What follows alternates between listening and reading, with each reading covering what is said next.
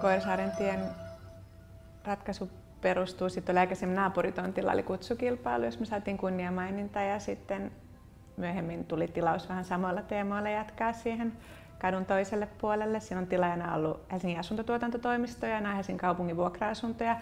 Eli lähtökohtana oli aika edullinen ja niin kuin kaikki, kaikki tietenkin rakennukset niin kestävä, kestävä ja sitten niin kuin kulutusta kauniisti kestävä rakennus ja sitten se, mikä tietenkin siinä kontekstissa on täysin poikkeuksellista, on se huikea luonto ja maisema.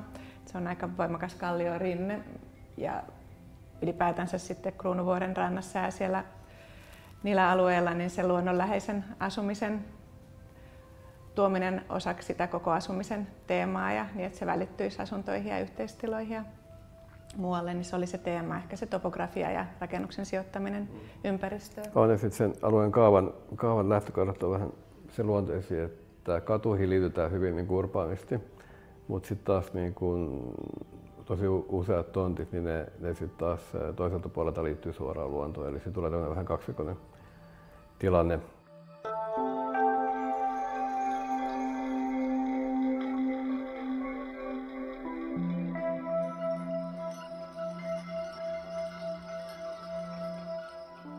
Siinä on pyritty tekemään aika urbaanit katujulkisivut, sitten toisaalta sen pihan puoli on ehkä enemmän sellaiseen esikaupunkiasumiseen viittaavaa pitkää nauhajulkisivu, joka sitten poimuilee sen luonnonympäristön kalliorinteiden ja, ja maiseman näkymäsuuntien mukaan, että asunnoista avautuu vaihtelevia maisemia ja toisaalta ne kääntyy vähän niin kuin myötäilee sitä luonnonrinnettä. Ja materiaali ehkä se oli ajatuksena tässä ehkä sellaisia sisällöllisiä, siinä on aika monipuolinen asuntojakauma ja pyrittiin sellaisiin niin kuin, ää, peruslähtökohdissa hyvää asuntosuunnitteluun, että on joustavia tilaratkaisuja ja monipuolisesti kalustettavia ja valoisia näkymiä ja läpirungoa avautuvia asuntoja ja väljät laadukkaat parvekkeet, jotka sitten liittyy sinne ulkotilaan. Että, että ehkä se identiteetti enimmäkseen saapuu siitä, tai on, tulee sen ulkoarkkitehtuurin mukana, joka sitten ammentaa siitä luonnon ympäristöstä.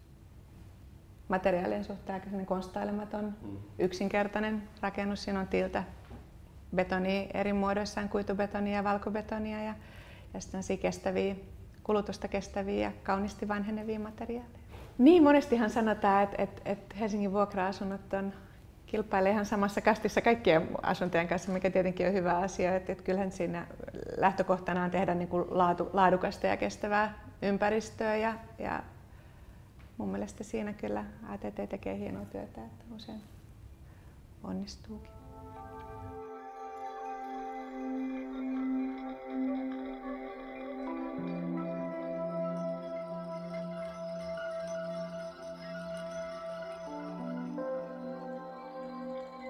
Mä luulen, että meidän ehkä lähestymistapaa kuvaa parhaiten se, että se on aina suhteessa ympäristöönsä. Et varsinkin nyt tällä hetkellä, kun rakennetaan enemmän asumista kuin pitkiä aikoihin ja isot osat Helsingin, Helsingin tyhjistä alueista ja, ja ihan rantajulkisivuista ja muista, niin se on pitkälti asuntorakentamisella, millä luodaan sitä kaupunkikuvaa ja yhteistä ympäristöä. Ja sitten siinä pitäisi ehkä pystyä löytämään sellaisia alueellisia erityispiirteitä ja paikan tunnelmaa ja henkeä, ehkä myös ajan henkeä suhteessa sit historiaan ja tulevaan, että millaista ympäristöä halutaan tehdä. Ja kyllä se niin tärkeää kuin se itse sisältö on ja pyritään aina sitä paikasta löytää eli niin kuin uusia teemoja, niin kuin tässä oli tavallaan nämä talo- ja asuntotyypit, mitkä jalostu sen ympäristön kautta, niin kyllä se aina on se konteksti, mikä ehkä on meillä se lähtökohta ihan.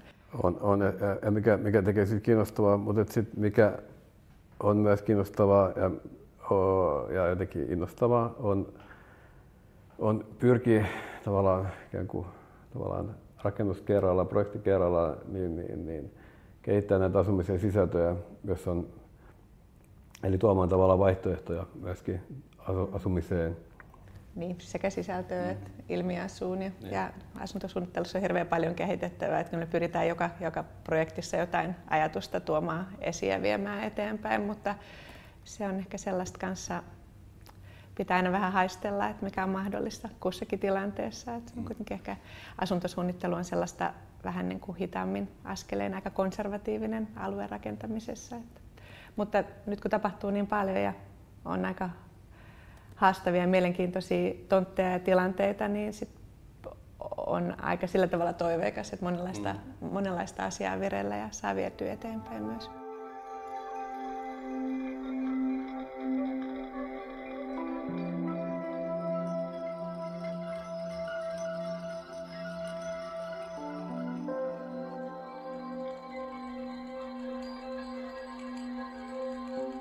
Nyt on niin, se voi olla ihan tavallaan just miten sanoit, niin tavallaan huoneiston sisäisiä asioita tai se voi olla hallintamuotoon liittyvä tai, mm. tai tarvittaisiin niin kuin hurja määrä erilaisia vaihtoehtoja ihan toteutustapoihin, niin kuin asukaslähtöisempiin hankkeisiin, edulliseen asumiseen on hirveä pula ja, ja kaikki kaikilla tasolla oikeastaan kehitystä ja monimuotoisuutta. Että voidaan ajatella, että, että niin kuin joustavuus rakentamisessa voi perustua siihen, että meillä on yksi talotyyppi, joka on äärimmäisen joustava ja sitten sallii kaikille kaikenlaista. Tai sitten voidaan ajatella, että kaupunkitasolla meillä on hurja määrä erilaisia erityisiä asuntoja, jotka sopii erilaisiin elämäntilanteisiin ja silloin ne muodostaa yhdessä sen jouston kaupunkirakenteen sisällä. Ja ehkä mä itse kannistun siihen jälkimmäiseen, että tilanteet ja paikat ja ihmiset on hyvin erilaisia, niin, niin pitäisi löytyä vaihtoehtoja. Kaupunki itsessään niin kuin tarkoittaa vaihtoehtoja.